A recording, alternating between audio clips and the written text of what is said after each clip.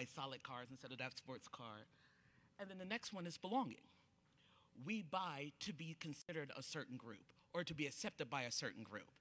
That is the entirety of every YA that you've read, right?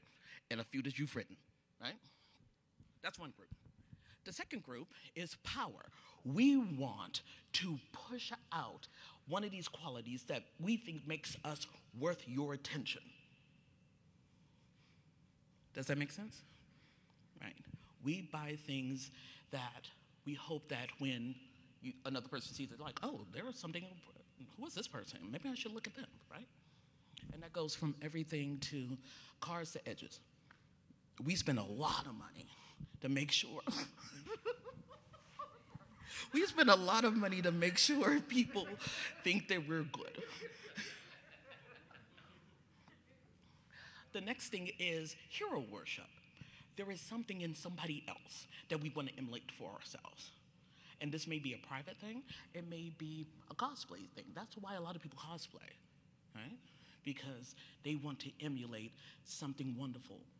Um, during the cosplay yesterday, I saw a Western Wonder Woman. She was Wonder Woman with the boots and the lasso, rootin', tootin', and shootin'. And that appealed to me because I'm not only country, but I love Wonder Woman. And I see what she was trying to emulate. Right? That's the reason why we buy things. And so, when we think about our universes, on one level, we want to tell a good story, and we want to talk about um, our people, what they need. Isn't that how we plot? What is the great need? What is the goal, right? And what they, the skills they require. But in the end, they are always trying to fill a need, right? And so, how do we give that to them in our stories? How do we? No, that's a, that's. Um, I'm sorry. I should also say that I really encourage you to speak out and speak up. So if you raise your hand, if somebody has an answer, I'll come to you, Phil Donahue style. what, what, what are the things that we do to fulfill the needs of our characters in our books?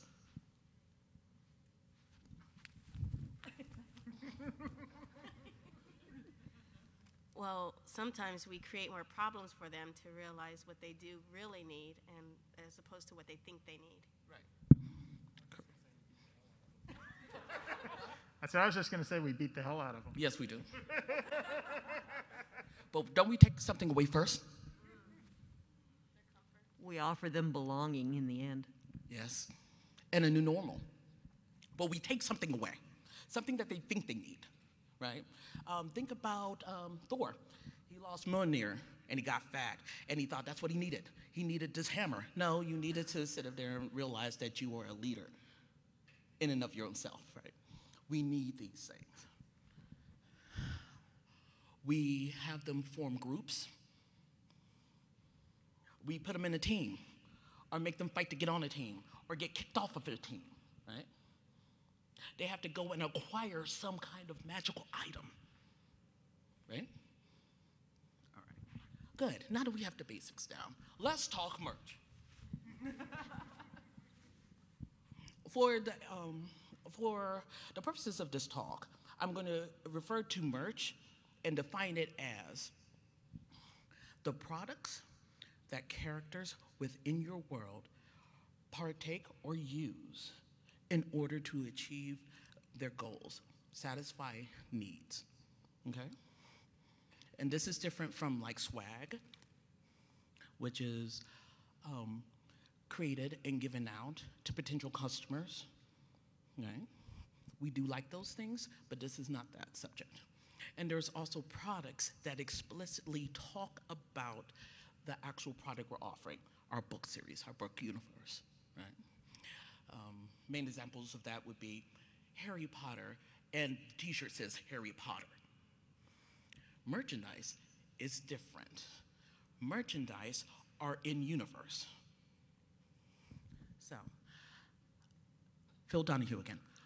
Give me an example of an in-universe product that gives the characters and or you the feeling of belonging. I'm going to go to her first because she's over here.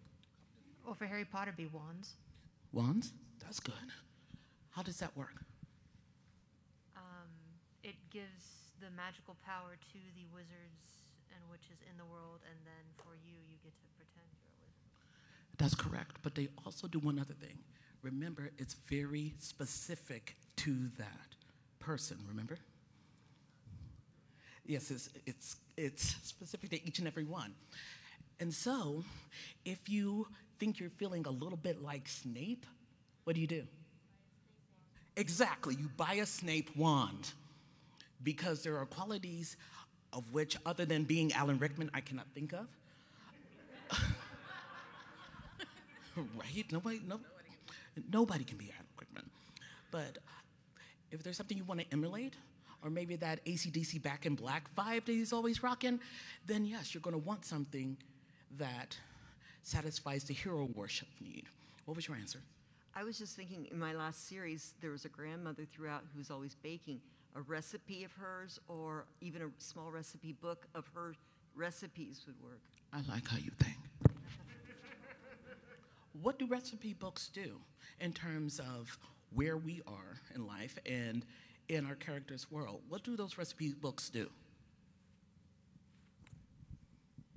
Well, recipes are normally a family thing, so it makes you part of the family. Sense of belonging, sense of security in your community. Is this starting to make sense now? Okay, other examples of in character aspects that gives folks a sense of belonging. I was just going to add to the recipe thing. It lets you sit down with the family and, and eat what they're eating. Yes, it's, it has a community aspect to it. Most of the meetings that I've had, no, don't apologize. Uh, most of the most of the best meetings and the best, best connections have been over food and booze. Am I lying? No. All right then. houses in Harry Potter or cabins in Percy Jackson? Yes. I will not give J.K. Rowling another cent of my money, but I will wear a Ravenclaw gear until I die. I am Navy and Silver all day long. Why? Because it plugs in to the view of myself, power, that I am intelligent, right? I'm sharp, and unlike Slytherin, I don't get caught.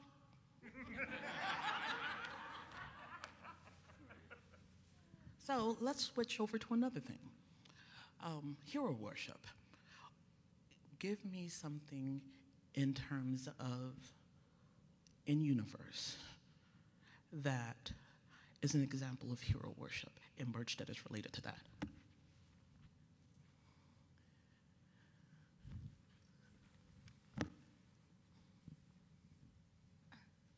Oh, I was gonna say action figures, but you're actually saying in universe.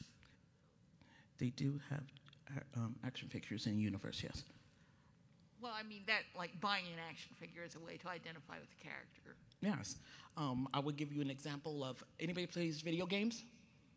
Are y'all familiar with Fallout? What's one of the collectibles? Bob- bottle caps of money. Bobbleheads, exactly. And did you know you can buy all those bobbleheads in real life? How do I know? Because I'm expensive. expensive. Jedi lightsaber.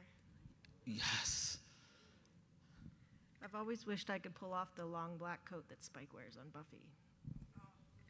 Or the leather jacket. Um, um, yes, in the Matrix. Oh, what is that hacker video game? Um, okay, it just left. I'll remember again. Aiden's jacket in that video game by Ubisoft that I cannot remember right now. I wanted that jacket so bad, but it was too small for me, right? but it was hero worship, right? Are we starting to get ideas now?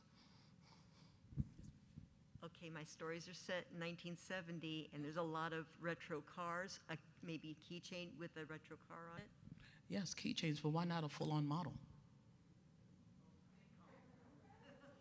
I said I'm all about that bag, didn't I? Are we, is this starting to make sense to you now?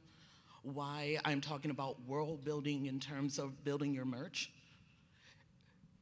Because, and it's important because we want to think about this. And I'm walking to the back so all these people can actually see me too.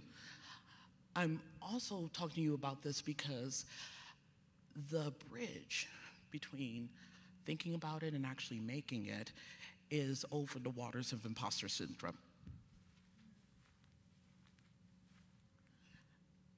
And you will at some times think, oh my God, that's a great idea.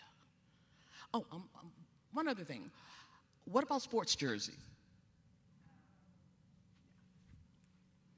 I have several of them.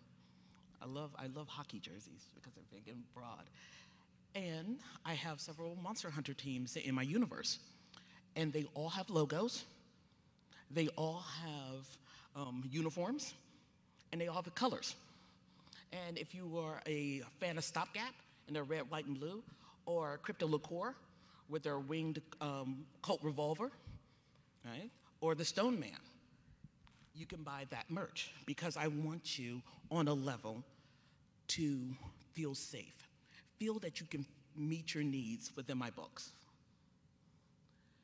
But to get there, I have to answer the question who am I to sit there and give you that? You have a question? Oh, no, I was going to give an example. Yeah, there's Kennedy Ryan. She's an African American contemporary romance writer, Mm-hmm. and one of her books was about a rapper and the love interest they met on a Ferris wheel. And she, when she released her box set, for like a hundred bucks, if if they paid a hundred bucks, they got a poster print of like a carousel with the rap lyrics like written on it, and she sold out of it like Oh, yeah. Um, I was working on a comic book for Grim Liver, and they actually released an album because it's within what he could do.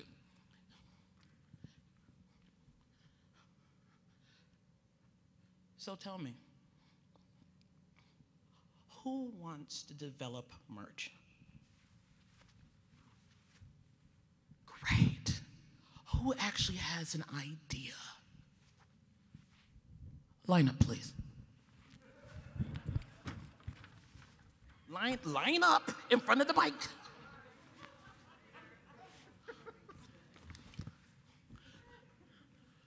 Because what we're going to do here is we're going to workshop them.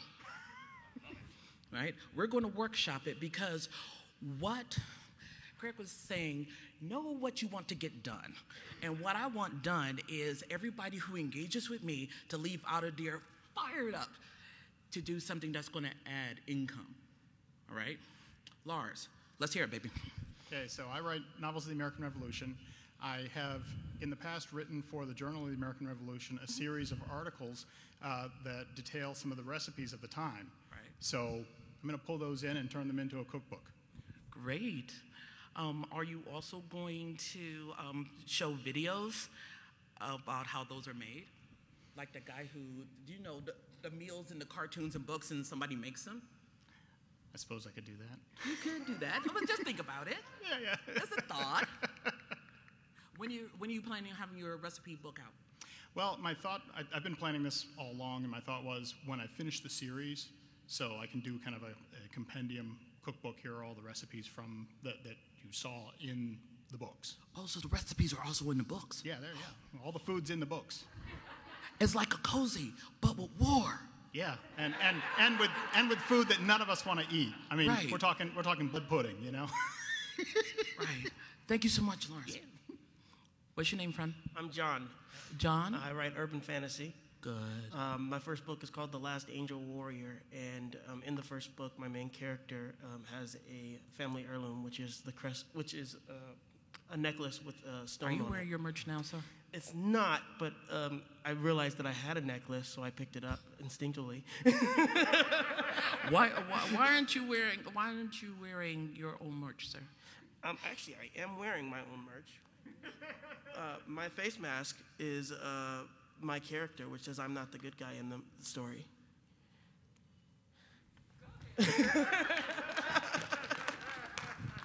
I'm doing I'm doing this because the camera falls on me. Come up here.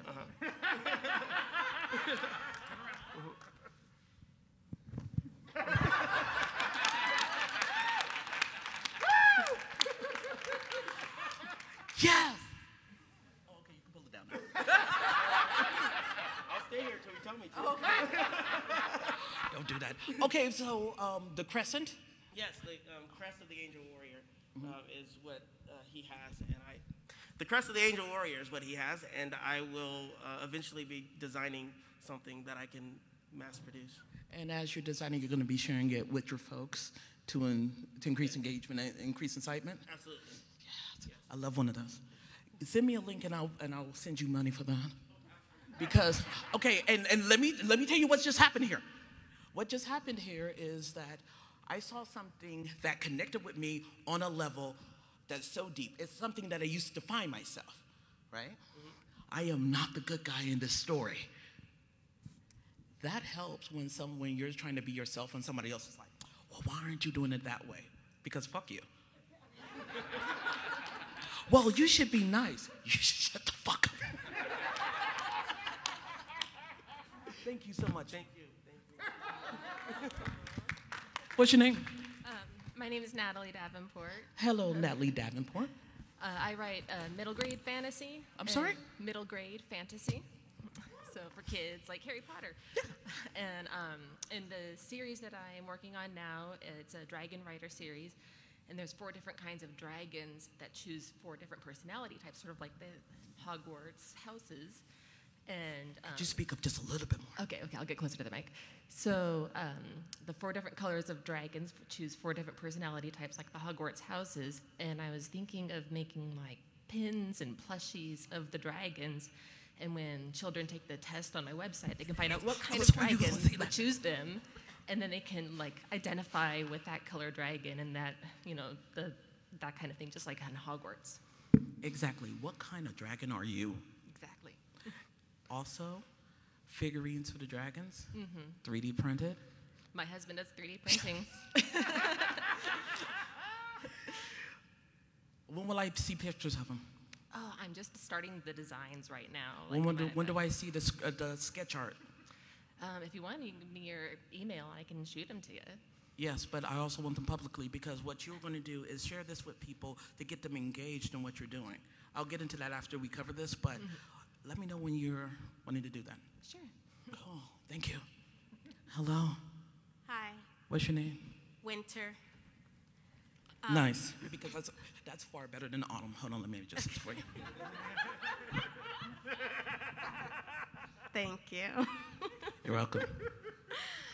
Okay, so I'm writing an urban fantasy paranormal. Mm-hmm.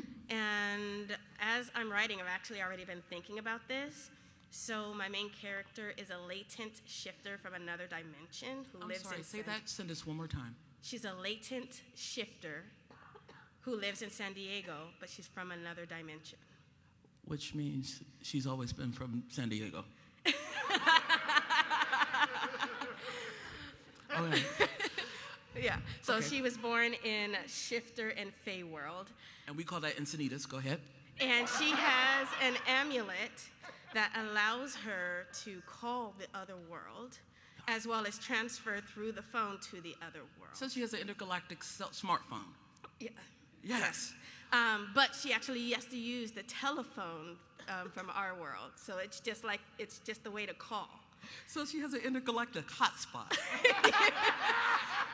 And then on her wrist, that she doesn't know, she has a bracelet. And a smartwatch.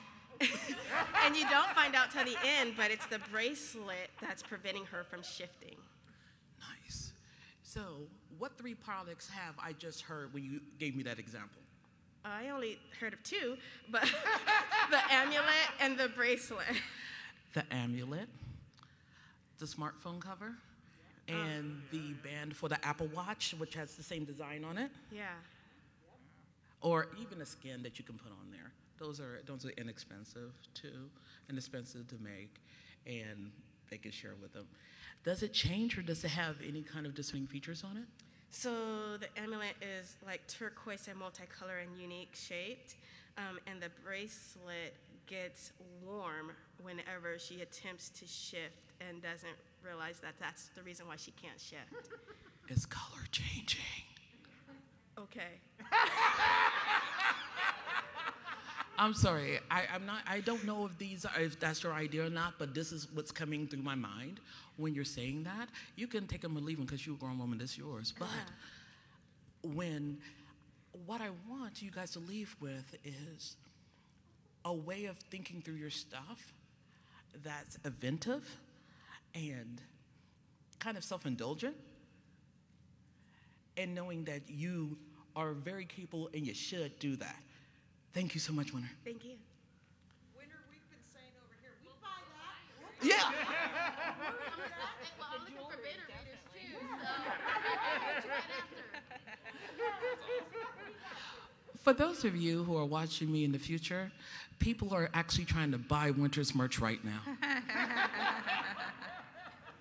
it's working. What's your name? Hi, I'm Kirsten. Hi, Kristen. Um, I write historical fantasy about Atlantis. Uh huh. And one of my other avocations is divination, you know, tarot, rune stones, things like that. So I was thinking, invent a divination system for Atlantis, like a set of rune stones. so I've been working on that, and I thought one day I could merchis, merchandise them. You know, make a set of rune stones, 3D print them or whatever. Yes. This is one of the symbols, so I'm on my way. I'm not gonna pull your mask over your face. but I do want you to come here and turn around. And what what are you showing me? It's just a little, Turn around towards the camera. it's just a little oval that, um, Don't say just because this is your world. this symbolizes like the magic power of Atlantis. And I was looking for this symbol and I saw this online and I was thinking, you'll know it when you see it. And I saw it and like, that's it. So I start use this as like part of the system and I wear it, you know, like for a good luck charm for me. Make sure you always tell that story. Right? You're welcome. My pleasure. What's your name, friend? Hi, I'm Cami Jensen. Hi, Cami. So I write YA Portal Fantasy, and because I cater to kids, when I designed my character, I always pictured kids running around in Halloween costumes. So very specific about what people are wearing. Their magic system, they can enchant their swords to be elementals. So a water sword, a stone sword, a fire sword, that kind of thing. But I also have ideas for um, character specific stuff. So I have a genie that lives in a silver rattle, Cami, can I stop you very quickly? of course. Do you need to take a breath? No, I'm just not enough sleep. That's a big old Anybody else with me? Just not enough sleep. That's, Da- da- that's da- where I am. you were not even alone in that. Okay, I just wanted to make sure because your voice was shaking. I'm like, take a breath. You're yeah, it's literally just not enough sleep. That and I had uh, chocolate almonds for lunch, so I'm probably a little jittery. Big old mood. All right, so we have a bunny in a bottle. Uh, Genie in Oh, the sorry. bottom. It's, she's in a rattle, a silver rattle. And so um, when I go to conventions and sell my book, Mm-hmm. I have a little magic test that I give to people to draw them into my table. Yes. And I have a sign that says free magic test. And the people just come to me and say, What's a free magic test? and then I've got all of these little items that if they pick that item, then that's what kind of a magic they have. So, like the genie in the rattle, if they pick the rattle and it shakes because there's a little rumble pack inside it, Right. then that makes them uh, a summoner, so they can summon powerful. And I've got an item for every magic test. Okay. Do you have a little? Now that you know you are a summoner, what this Yes. means? You, you take it with them. They can take it away with them. Yep. And they read all the other magic because they're all on the same paper, and Oh. then hopefully they get excited about the book and read the book. And there's a QRID code to your reader mag- magnet or or where they can yep. buy it. Yep, everything is on that little sheet. I like everything. Thank you so much, Cami. Hello, Jules. Hey, Introduce Um, yourself for the folks. uh, my name is Jules, and I write urban fantasy. And I have this idea of, well, like, it's not just an idea, but um, I have six tribes of werewolves, and then I have vampires, elves, and orcs. And the idea is to have them have it take a test. And then there's also jewelry and um, other kind of like wearables that go with each different tribe, elf, vampire, or orc. That's- I don't know what else to say about it. Um, yeah, that's. I like jewelry, so I wanted to do jewelry, not just pins and things like that. I want jewelry. Are you familiar with Jeweler's illustrations? Whose? Jeweler illustrations. Yes. Those really high detail ones that always look like they drew it with um, uh, color pencils. Yep. Do we have any of those that you can share? Not yet. I thought about it last night and I Googled. Yes, I I know, right? crystals this morning. That's as far as I got. I was like, crystals seem great. I like crystals. So when do we get to see them? um, when I make them. Okay. well, the thing is that I'm asking you this, and I'm going to ask you all this. We're going to discuss this in the second part.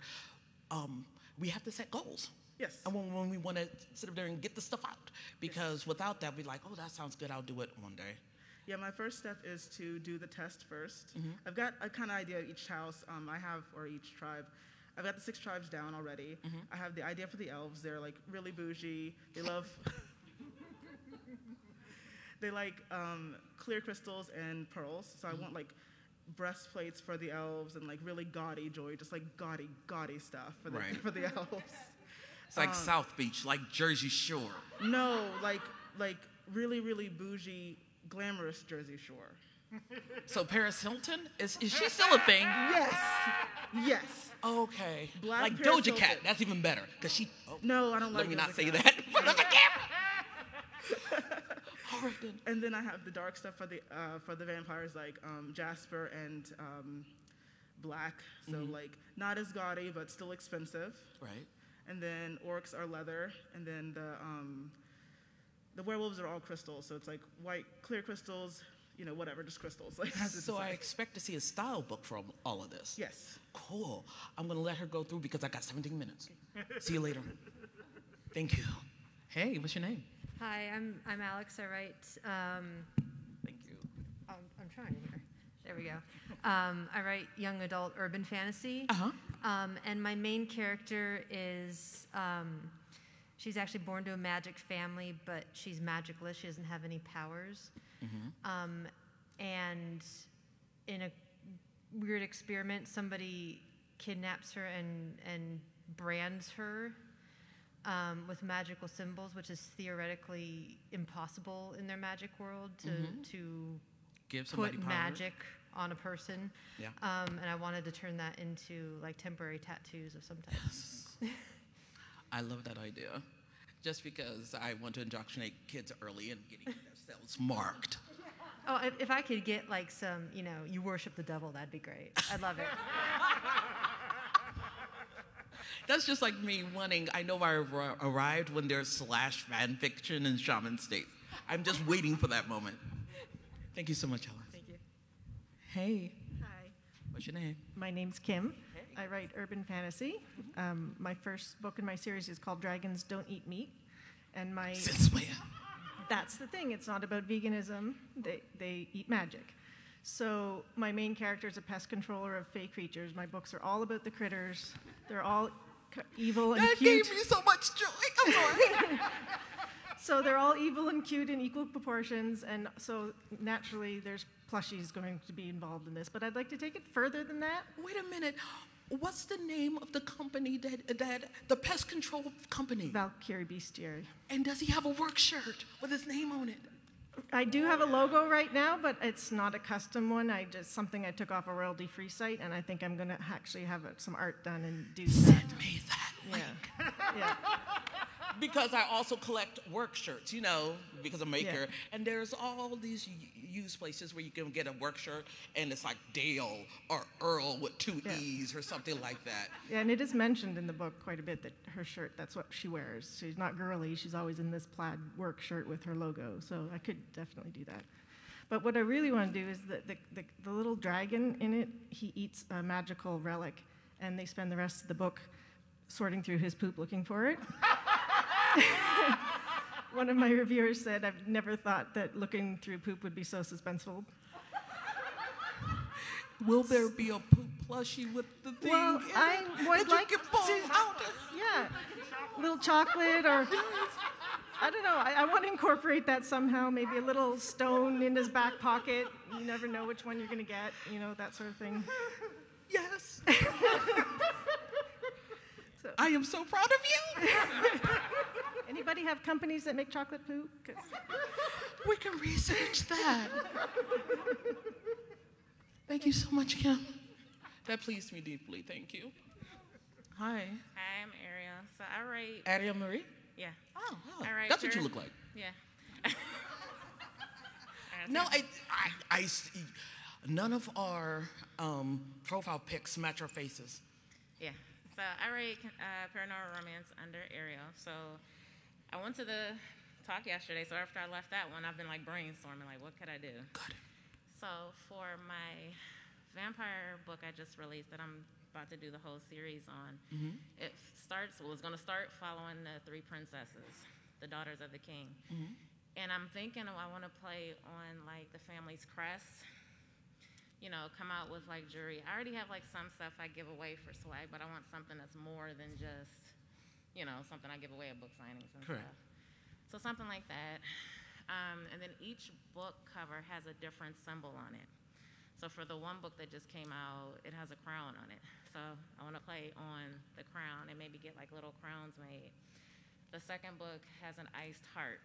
Right. So I want to do maybe some type of like crystal heart and stuff. Right. And then they each, of course, are like badass warriors, you know, because, yeah, they just finished a post human vampire war. So each of the sisters fight, of course, because, you know. And what weapon do they use? Yeah, so I'm thinking to play off of each one of their weapon of choice and doing something like that. But then, real quick, for my romantic suspense, under my other pen name, Mhm. I have a super popular SWAT series. And everybody has their favorite SWAT member. So I'm thinking maybe, like when I was a kid, I did like basketball cards. Mhm. So I'm thinking maybe like cards with each of the characters. And then I just added onto the team a female SWAT officer, Yeah. which everybody went crazy over. and maybe play to that. So like maybe have some type of maybe a badge for them, um, the Mhm. trading cards Yeah. with all of the guys, you know, their stats, former military, you know, all their background and stuff, Right. and like build off of that. And sharing that on your site, giving the stats, or asking your group, hey, what kind of stats do you think they should have? Yeah. And you're like, oh my God. Well, yeah, they already. I'm like every time I release a new book, they'll still say, "Well, no, Mac is still my favorite, but I do like Ash." You know, so so it just depends. But that's one of the things that they all, you know, compete over is who's the better SWAT member. Oh. You know, so I'm like, if you have a trading cards and ch- cards, then it's sort of like you know going off of that. That sounds great. Yeah. Oh, thank you so much. Hi, what's your name? Hi, my name's Felita Daniels, and I just came up with this idea in the chairs. it's working. Short story for an anthology I'm doing next year. I have a witch, and her familiar is a dragon, but of Mhm. course that makes it hard to get her moving around. So it's a teacup dragon. so I was thinking, what about a purse? And that's going to be the teacup dragon's home. The question is, that's more of a grown-up item, and the stories are adult. So would that I'm work? sorry. It, the purse is a grown up item? I'm wondering if the merchandise, if if Mm-hmm. grown-up women would buy a purse with a little teacup dragon in it, or would that seem more childlike? Okay, first of all, the audience is already answering for you. And then, right? Okay, before, uh, uh, give me two minutes, Jules. Um, can I tell you about my purse collection as I walk over because I'm expensive? I have a purse that looks like a um, carton of strawberry milk. I have one that's shaped like poutine. I have one that, is looked like a bomb from Mario. if you connect in a way that reflects what they see in themselves, like that area of cute or that bit of nostalgia, right? Who wouldn't want a little purse that had a little dragon sitting out there like a Scotty? I would buy all three of them. And if you give me a different plushie and match the purse, I will buy all three, and my husband will just shake his head. You're welcome. unfortunately, we can't push in. No, but it's a lovely dragon on this page. oh, can you see it a little bit? Great. So we have all these ideas, right? And don't we, now that we've, thank you, now that we've talked about it, do you feel better about those ideas? It pushes, it pushes through the imposter syndrome when you can sit up there and be in a room like, I think I want to do this. Now, you and I will actually do this, right?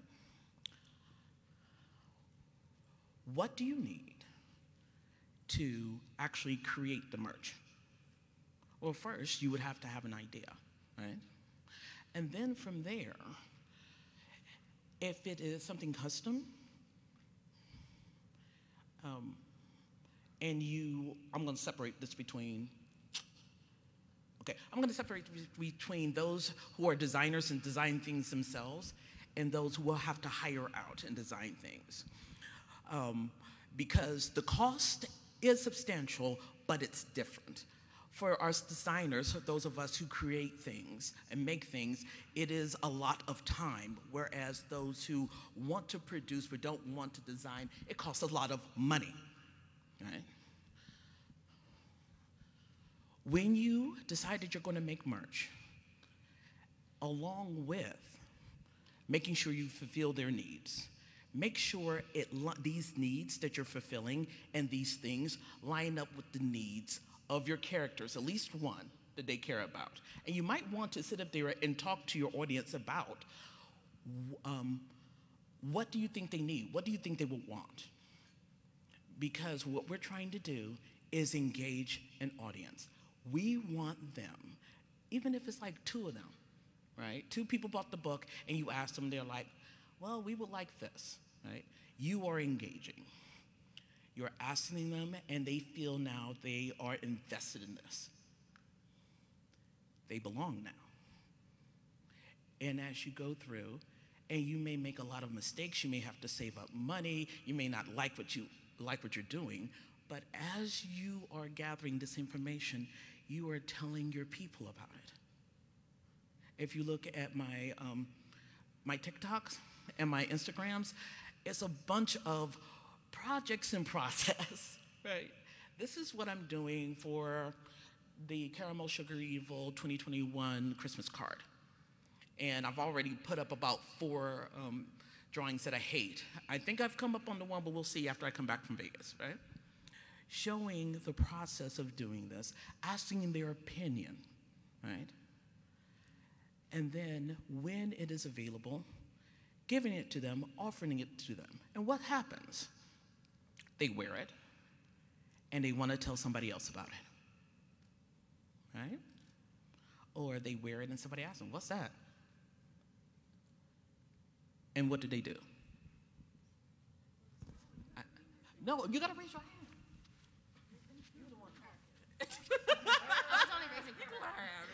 then it's, oh, you got to read this book because let me tell you, this is where this comes from, and, and now you got some new readers. What do you want your readers telling other people about? Maybe. I, for instance, I want people to know that in Shaman States America, they can see themselves reflected.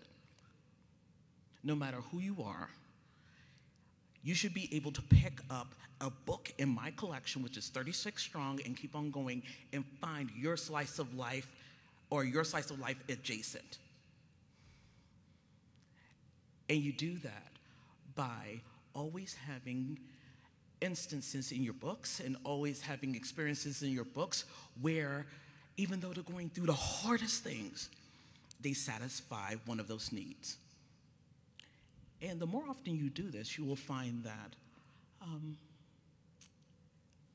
those are the things that people cling to most. One example the most popular character in my series is a lady named Dorothea Fallow. Call her Dottie. And Dottie is, is, she owns a chain of restaurants, and she's the only waitress for them, and they're called the Dot and Dash. Now, the wonderful thing about the Dot and Dash, other than the fact that it's been around for almost 300 years and Dottie's been there the entire time, is that in a world of monster hunting, where you go out as a team and you fight this thing and you're gonna get busted up, right? If you find that you need to eat, to recover, to do things, all you have to do is think about going there and travel 10 minutes. It doesn't matter where you are, it doesn't matter what mode of transportation you're in. 10 minutes and you are safe. 10 minutes and you're eating. And her tagline, we're always nearby. Right?